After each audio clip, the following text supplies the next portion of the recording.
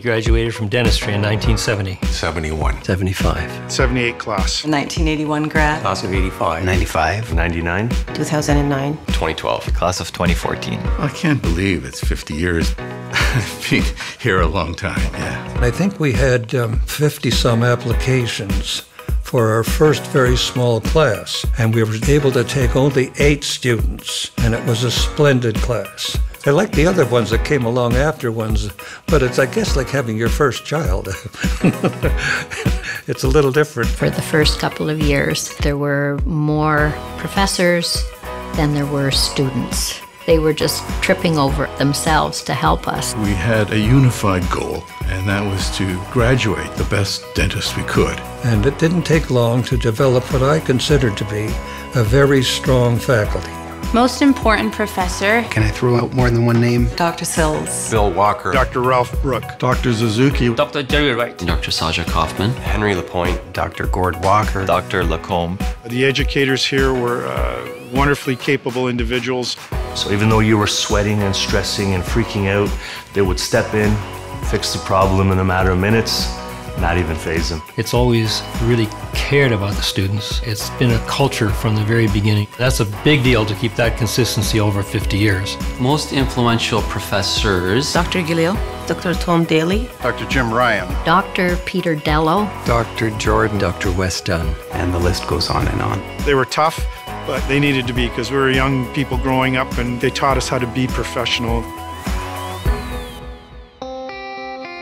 Actually, I can remember back to our first day of dental school when we met. It was actually Dr. Wesley Dunn, and he showed up in a powder blue three piece suit, um, just dressed meticulously.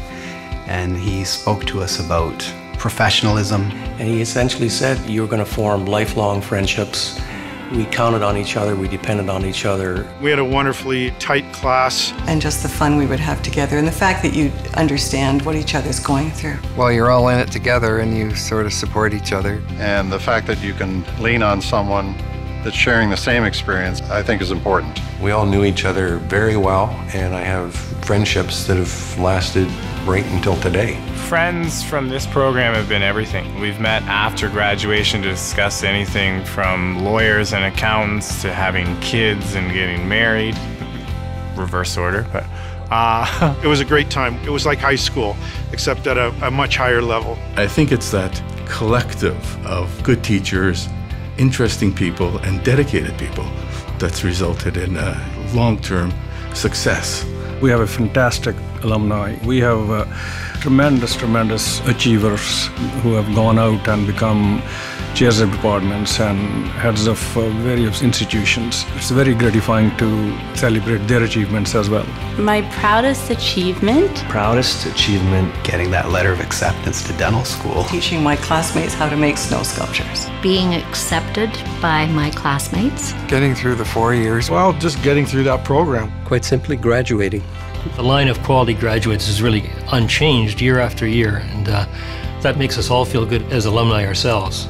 I think it's important that Western dentistry students give back to the community that gave so much to them. And the DOCS program is a, a means by which they can then express that ability of giving back to the community. Whether it was cleanings or fillings, we were there to help. It made a big difference, I think, in most of our lives. It's something we were really proud of doing and continue to do.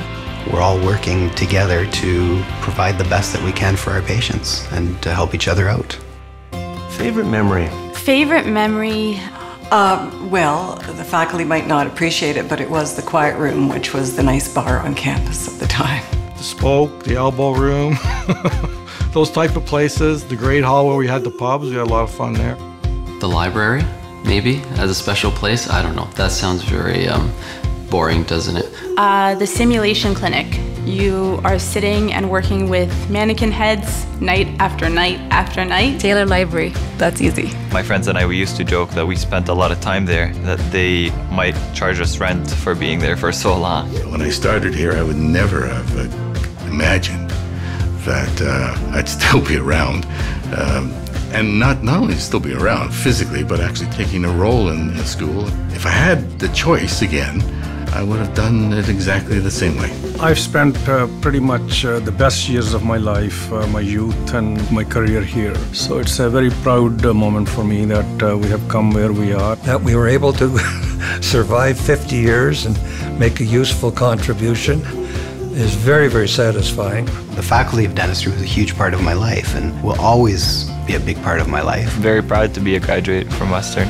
The dental school is one of the best. I'm proud that I made my family proud. I'm proud that I made my school proud. My experience at the School of Dentistry was unbelievable. Empowering. Transformational. Outstanding. Fulfilling. Phenomenal. You know, I think we inspired each other. You get pushed to your limits. Paid our dues, we worked hard. You're able to do things that you probably didn't think were possible before. Satisfying. Rewarding. Phenomenal. Proud. Couldn't have gone to a better school.